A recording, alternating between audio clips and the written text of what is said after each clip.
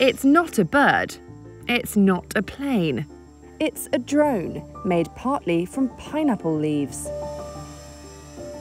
The design is part of a sustainability project at Malaysia's Putra University, led by Professor Mohamed Thariq Hameed Sultan. This current project is to transform these agricultural waste into a potential aerospace application, which is a drone structure.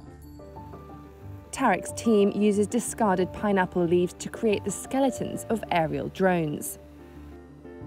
The most important thing of this particular design is we are using agricultural waste which is we are transforming the leaf of the pineapple fiber into a fiber and that particular fiber who have been seeing that this fiber can be used for aerospace application, basically in inventing a drone.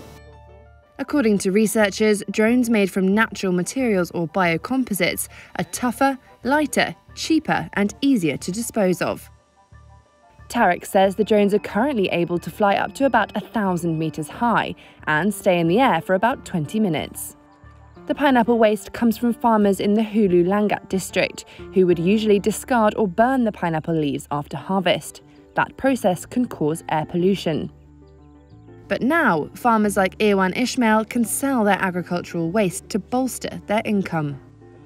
Contoh, dalam 3 ekar tanah ini mungkin boleh menghasilkan uh, 5 ataupun 10 tan uh, hasil daripada buang-buangan ini dan cuba bayangkan kalau misalnya kata harga itu dalam 1 kilogram mencecah ke 5 atau 6 ringgit darabkanlah sajalah dengan 4 atau 5 tan itu maknanya ia memberikan satu impak kewangan yang bukan sedikit bahkan besar kepada Researchers hope the project, which was launched in 2017, will encourage other scientists in Malaysia to make good use of the waste.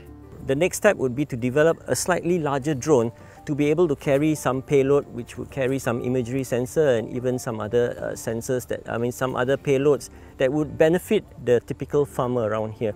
So our role here is to help the industry, help the help the farmers to actually explore into uh, 4IR, uh, what do you call it, uh, technology and innovations that would that would help them increase their yield in, and make, make their jobs much easier.